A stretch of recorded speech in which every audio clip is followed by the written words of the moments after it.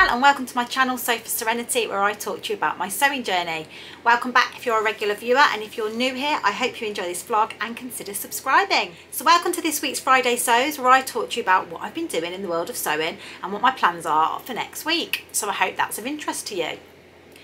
So happy Friday everybody. First of all I'm going to talk about what I'm wearing today. I'm wearing a mixture of ready-made and me-made. So, so I'm wearing a ready-to-wear top that I actually stole off my mum. She was gifting it um, to the charity shop and it's a gorgeous little polo neck, um, turtleneck in a red and it's really soft and I don't normally wear a lot of red but I just had to have it because as you know leopard print is my favourite colour so yes there we go. Um, and then I'm wearing it with the Max T which was a recent make. This is by Chalk and Notch. It's absolutely gorgeous. It's just right for this weather. It's cold but obviously because I am of that age um, that time of my life where I have hot flushes having my arms out seems to help me a bit so but this keeps my body warm. So this is perfect. So this was a recent make Max T by Chalk and Notch and I made it in um, a very um, cheap fabric that I got recently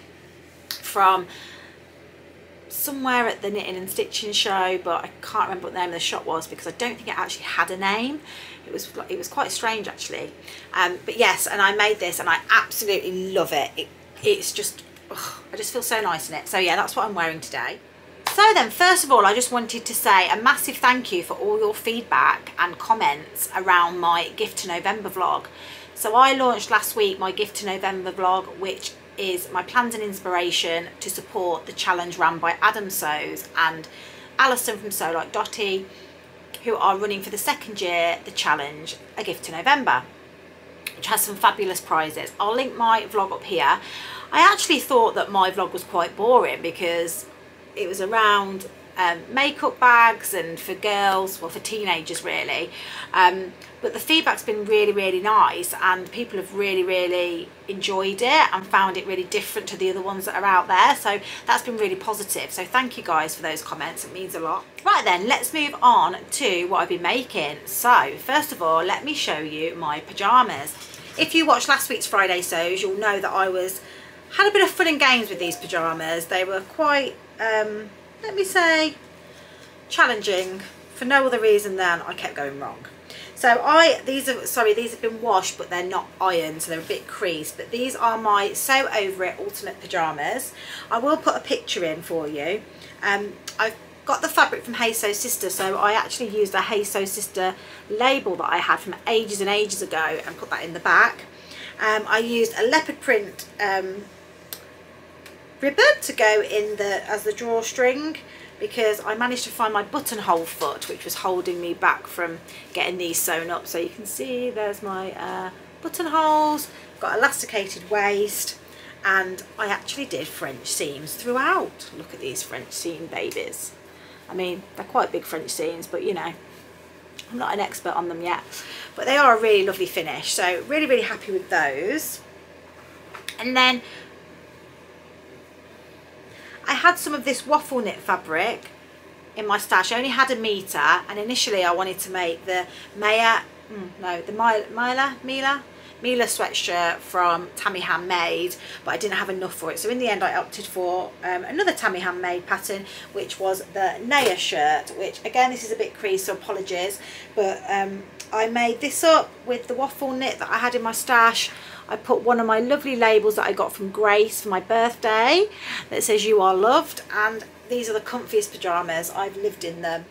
I was a little bit lazy and I used black overlecker thread which is not the best really. I should have really used um, an orangey colour or, a, or a, a mustardy colour but yeah I'm really really happy with these pyjamas. They are dead comfy and I will definitely be making some more of these and the Naya top works really well as a comfortable pyjama top. I think the only difference, the only change that I'll make for next time is I will put in some pockets and I might opt to just not bother with the drawstring. They're not really required um, because you've got elastic in the waist but they're there as well. Um, and they are a full working drawstring. I haven't done that with these ones. I've just put the drawstring in for show. Um, so I haven't threaded it all the way around the back. I've just threaded it through the two eye holes. Eye holes, buttonholes. So the next thing that I've been doing is I've been having a little bit of a sewing pyjama party. And that's not sewing in my pyjamas, although I do do that. this is making up some pyjamas for me and the girls. So I got this fabric last year from my lovely friend Anna, who is You Got Me in Stitches, and she ran fabric store um, which is called Pattern Pouch Nest and this jersey is the softest jersey I've ever felt in my life it's £12 a metre and she still has this in stock um, now I ordered five metres of this and I had to put a rush order in this week for some more um, because I actually ran out. So I actually in total have used seven and a half metres of this fabric. Um, but I haven't finished the pyjamas off yet because that only came the other day. Now, I have sewn up last night um, the trousers and the top for Alice. I haven't hemmed it yet and I've done all of the all of the trousers and I've done a couple of the sides of the top but I've still got to cut out the sleeves. So I'm doing the Juno pyjamas which are the pyjamas by Tilly and the Buttons. Now I went with these because I've made these before. I've got a couple of pairs. I can pop pictures in. Now, although I did make these in a size 3 because I was much slimmer then when I made them. Um, so I knew that I needed to reprint out the pattern in um, a size 5 or 6 and also I needed to um, have the size 1 for the girls which is the smallest size. So the Tilly and the Buttons Juno Pyjamas is in the Keep It Simple book is it? Just checking here the Make It Simple book. What I didn't realise when I purchased this book is that although the patterns are all in the back in paper form, you can actually download them. So I've downloaded the PDF of the, the Juno pyjamas and printed them out. And for the girls, I've made the size one, which is the smallest size in the trousers than the top because I, I got them to try on my size 3 and although um, my size 3 pyjamas were quite baggy on them, they fit them in the length because my girls are quite tall. I don't know where they get it from. I think, well, I do. They get it from their dad because their dad's tall. Um, so I thought they like it a little bit oversized. They like long sleeves because they like to do this with their hands and stuff. So we've gone with the size one, but I can always trim trim a little bit off if they're too big for them, but I think it'll be fine. And then for me, I made the size six. I fell into the between the five and the six, but I don't like a tight fit in my pajamas, so I sized up to a six.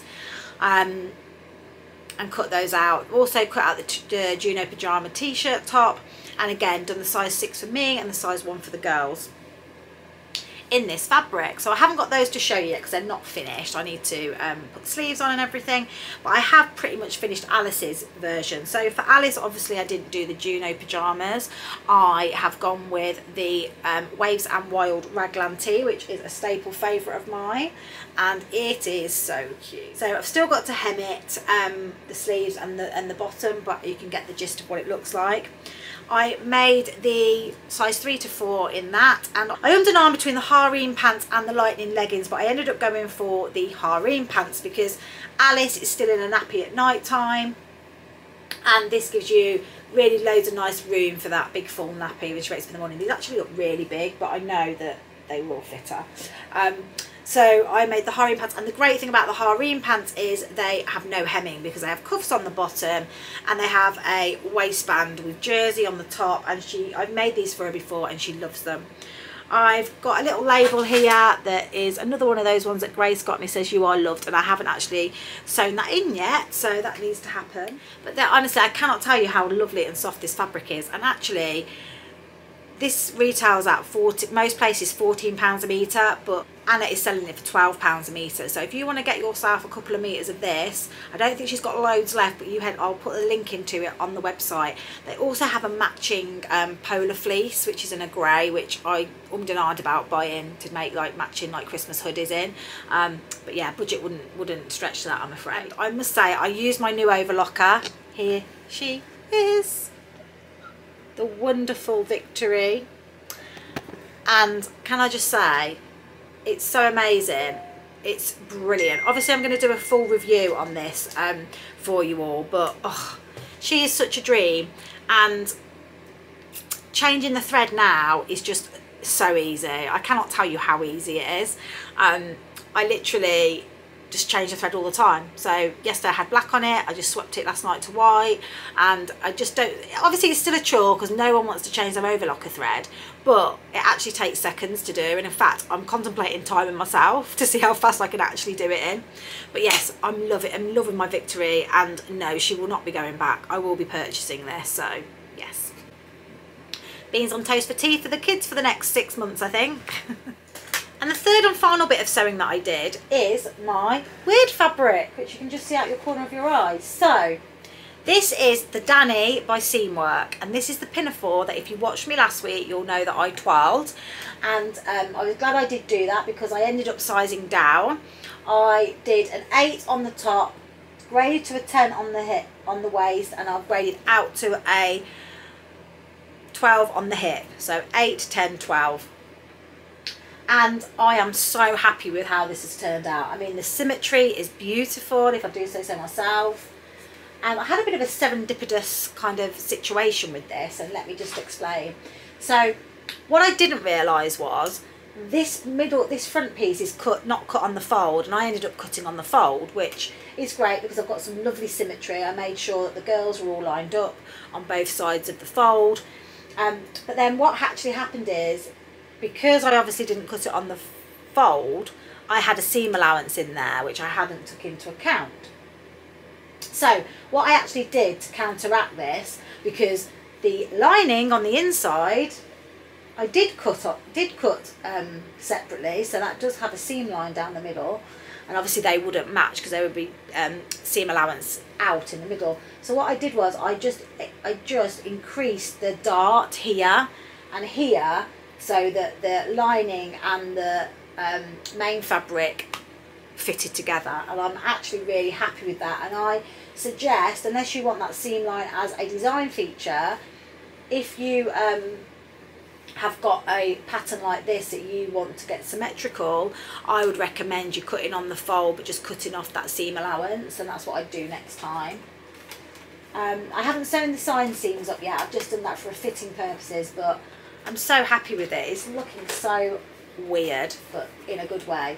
Let me just show you the lining because the lining is such a clever um, technique that I've not done before. It still could do with a good press um, as well, but this is the doc document, the garment even turned inside out. And as you can see, it's got a facing on the lining and uh, that's the front. So you can see almost looks as good on the inside as it does on the outside. So basically I used a, I think this is like a twill fabric. Um, it's the only fabric I had really in my stash because it does take quite a lot of lining fabric. And the difference on this is you cut out a facing and a lining and obviously the lining is slightly smaller um, by the difference in the facings to the main fabric and then you sew the facings onto the main fabric no, you don't. You sew the facings onto the lining, um, which then makes the lining the same size as the main fabric. I hope that's making sense. And it's just really nice. First of all, it doesn't roll out because you, I've um, tops, I've uh, edge stitched that there, under stitched it even. Um, and it's just a really nice professional finish. I think it looks really, really cute on the inside. So I really like that technique. I've got the skirt still to do with the pockets and I've got to sew up the side seams. But I'm not going to sew the side seams up yet until I've got the skirt part done because I want to just check fit around it. Um, it's the burrito method inside so it's really really neat bodice and I'm really really happy with that and I cannot wait to get this finished and I would really love to wear it um, next weekend. That's all the actual sewing that I've done. I have cut out my lavender robe by Alice & Co Patterns. That is in this flannel fabric and I have great ideas around this. I'm going to be using my Merry Christmas sew on patch and this is all for my brand ambassador ship window display for Sew Confident in Glasgow. Now I have been thinking that I might, might, maybe put a bit of Sherpa on the collar of this. If I've got enough left in my stash we'll see. I'm going to go and have a look later. If I've got enough Sherpa in my um, stash to perhaps do the collar of the of the robe in a Sherpa because I think that would be even more snuggly but we'll see. I don't know yet. Watch your space so I'm going to a sewing social tomorrow. It's Becky's from What Beck Sews. Hers is monthly last weekend of the month so I'll be going to that and I'm going to be taking that robe with me to get that done because I actually do need to get that finished this weekend and sent off to um, the guys at Sew Confident so they can put it in the window display. So that leads me nicely into my plans. So that's what I'll be doing on Saturday which I'm very very excited about. And then the plans for the week ahead are going to be um, getting all these ones that I've just talked about finished off and uh, perhaps starting a bit of work on one of my new patterns that I've purchased so that's a good segue into what I've been spending my money on this week. So I've had some happy mail this week. The first happy mail is Beyond the Pink Door Advent Calendar. Very excited. I mean, look at that box. Isn't it lovely? I can smell it already. There's obviously something beautifully smelly in there. This is going to be my advent calendar for the 12 days of Christmas. So we do have to open this on the 1st of December, I believe, but then there's instructions on how to make this last the 24 days. I suppose we're opening one every other day or something like that, I don't know. But you'll be pleased to know that Alice has agreed to do Vlogmas this year.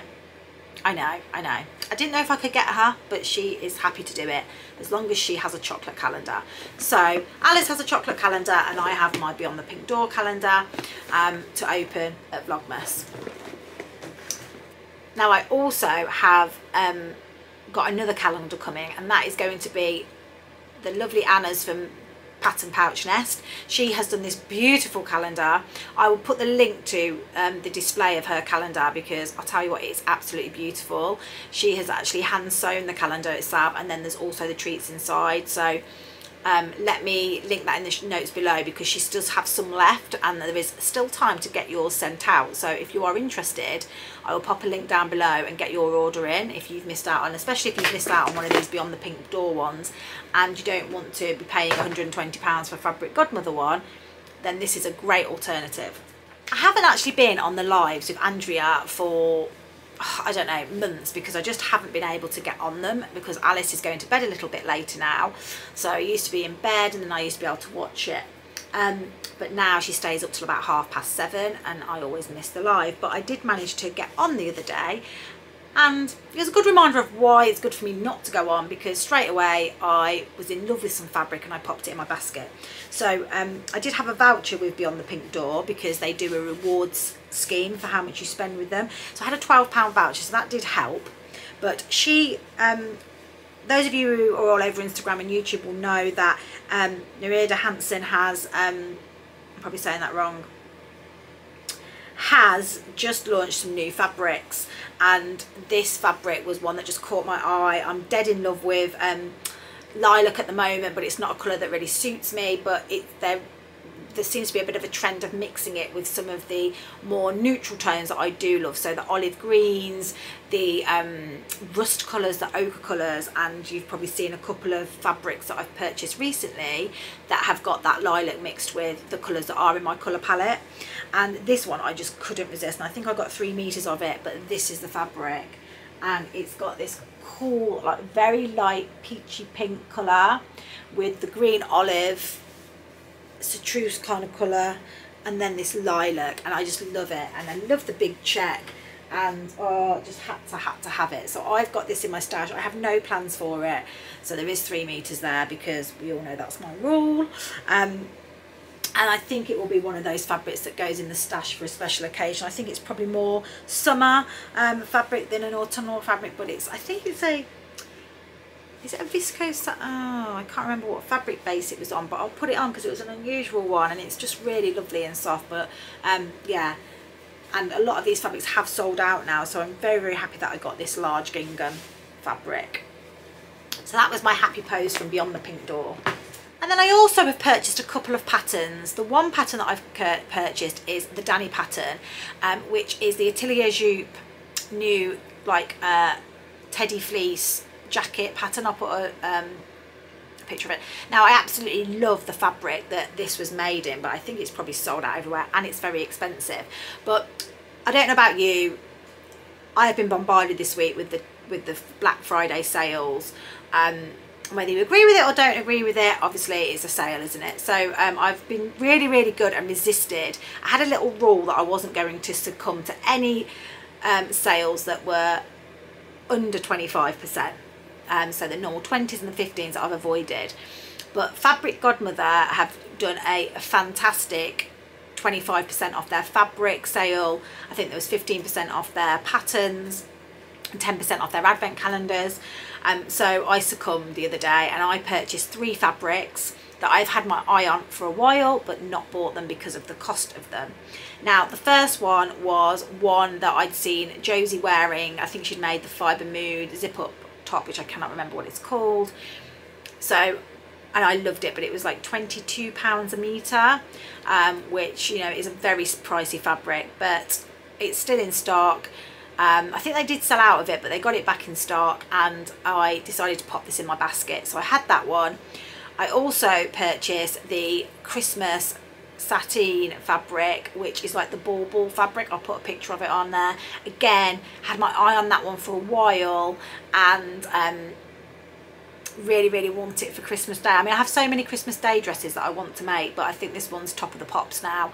Um, now I know what dress I want to make with this. I've forgotten the blooming name of it, but it's a Maison Fauve dress and it's a gorgeous high neck, very A-line dress, but the party is definitely in the back. It's got a nice V in the back and you can tailor the V so you can cover your bra up as well. So I want to get that one and it's one of the older patterns so it is on PDF.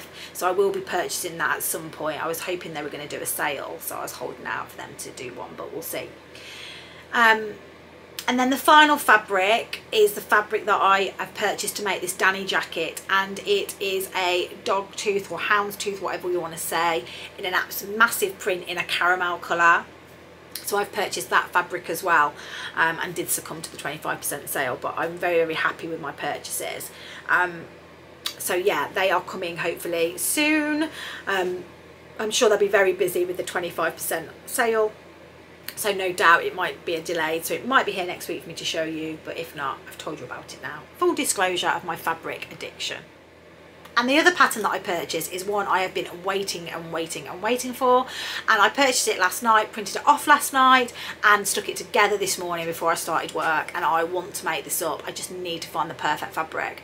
It needs three meters of fabric so I don't although I have started to build up my stash with the three meters of fabric I don't have copious choice for that um, but it is the Seasons of East new pattern which I think was a little bit delayed so it's more being launched in the winter than the autumn but it is Seasons of East autumn in New York pattern and I love it. It's getting mixed reviews from people that I talk to about it because it is a has got no sleeves but I really see this pattern over this turtle like a turtleneck like this and the thing that I love about it is it's got these frills on the side which I love and it's got these godets which I've never done that before. So a godet is like um kind of a massive flare. Is that what you say? I'm sure that's not the technical term. Let me Google what Google what a godet is. So a godet is a triangular piece of material inserted in a dress shirt or glove to make it flared okay so it's got these lovely flares that have also got a frill on them and I love a frill um, and it's a straight tunic style and I'm really keen on to, to make this up because it is my style I like loose fitting clothes I don't like tight fitting clothes so I don't know what that was, I think it was someone at the door. But yes, I don't like tight fitting clothes. This is just my style, so I'm really excited to get this made up. So I would like to try and get on with this next week if I have enough time. Um, but I will be um, going to sew two next week so it might be the, the thing that I take with me to make up there but we'll see we'll see um, but yeah that is another pattern that is out now and I have purchased it on PDF although I will probably purchase it on paper because I love the Seasons of East, of East patterns. They're just so nice um, and I feel like I, my collection addiction is kicking in where I want to have every one of the collection in my stash but we'll see. Okay, so I think that's everything. I'm sure I always come off and I forget. Oh that's it. I want to do a small channel shout out.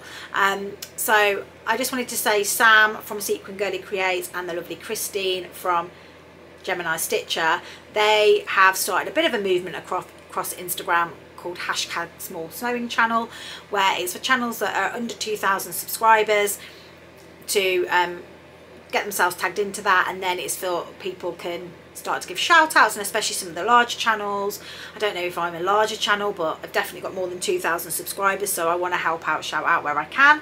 Um, so I wanted to give a shout out to um, under that hashtag. My sewing shout out goes to a lovely lady called Annette who is in my sewing social. I think it's catching because this is a third person in my sewing social to have started a vlog.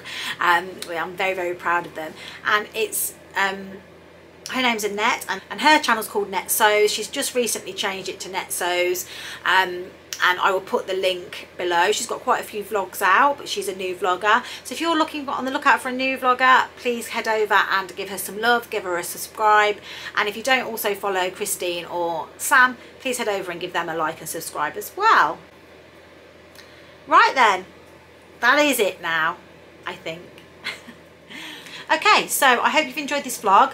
Um, if you don't subscribe already, please click the subscribe button now. I would love to get to 5,000 subscribers by Christmas, but I've got a way to go. But any help you can get me to push me there would be great.